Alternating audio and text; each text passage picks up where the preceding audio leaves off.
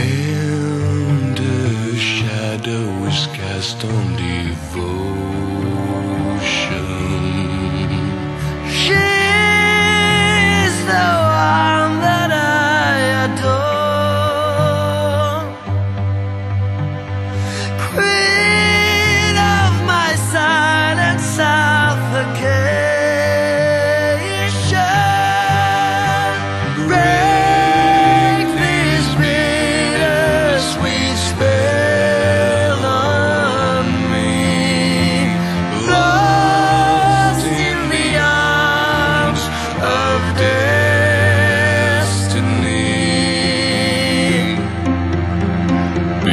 sweet.